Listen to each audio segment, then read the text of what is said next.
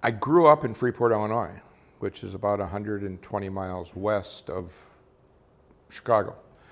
Um, I was a Y brat.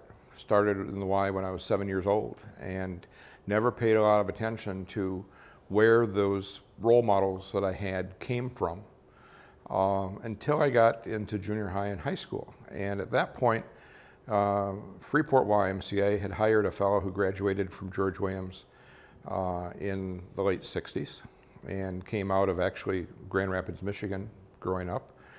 And he was, he was just something special as a role model.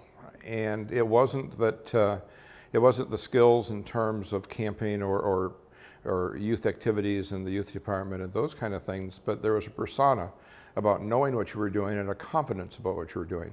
And somehow through the summer camp program, he got me interested in at least visiting George Williams College in Hyde Park.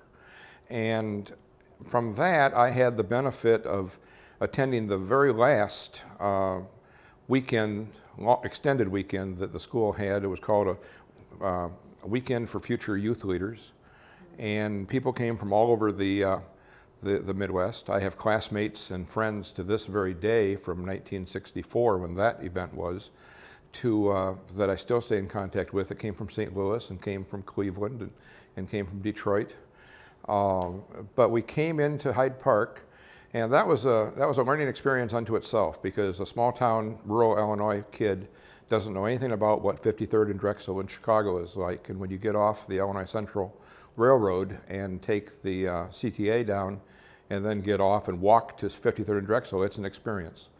But I met people who are today just real models uh, for the school, distinguished alumni of the school, Norris Lineweaver, who retired out of the Indianapolis YMCA and, and the international movement, and uh, just a lot of other people. Reuben Davis, who was in Miami, just passed away, and uh, lots of folks that just were meaningful.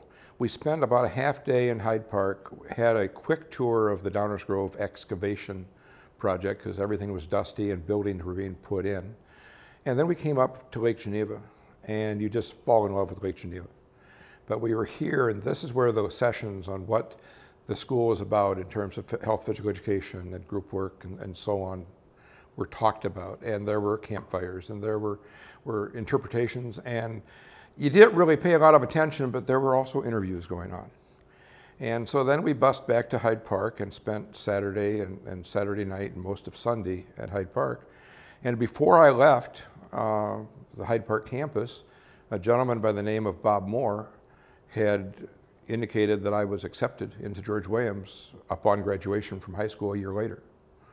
Made the senior year in high school really interesting, but I had a chance to go back and, and tell Art Brown, who was the uh, Y director, who was a graduate of George Williams, that I was following that path. And for a while, it was to be like him. But once you get on campus, you suddenly realize what you have to learn. And you can have some skills in terms of games and, and activities for, for kids and adults and interacting. But when you learn how these processes work and you get exposed uh, to field work that's in the inner city and not in a, a suburban or a rural community, your eyes get open real quick and you grow up real quick. And it, it, it really gives you a chance and the, uh, the opportunity to really change where you're coming from. My greatest wish for the college is that everyone who graduated could have the same level of knowledge that I've learned by getting involved with both the Alumni Association and reading the mailings and being on campus both at Lake Geneva and Downers or in, in Aurora. Um, there's a vitality going on here. People think that George Williams closed. George Williams simply recessed and through the efforts of a few very dedicated people, kept its ability to grant degrees, found a home that respected its assets and its endowment and its history, and still honors the restrictions of donors and endowments and, and so on. But it's alive and well here.